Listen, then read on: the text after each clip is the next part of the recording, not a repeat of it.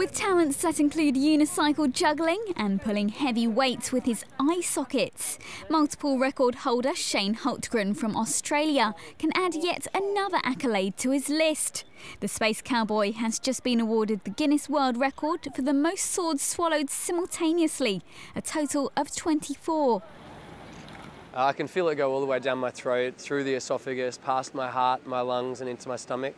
And uh, when you actually swallow multiple blades like this stack here, uh, I, uh, yeah, I can actually see the last few of them vibrating with my heartbeat because it actually nudges my heart across a little bit. I have done myself some injuries uh, practicing and in performances. Uh, what, what I do is educated risks. So, I mean, I learn from my mistakes. I, I'm not masochistic, I'm not suicidal. I love what I do, I love my life, I love my body, and I believe that what I do is only empowering. So by performing these extreme stunts, although sometimes I do hurt myself, I'm not damaging myself. I'm only making myself stronger and more, and more confident and more happy in life.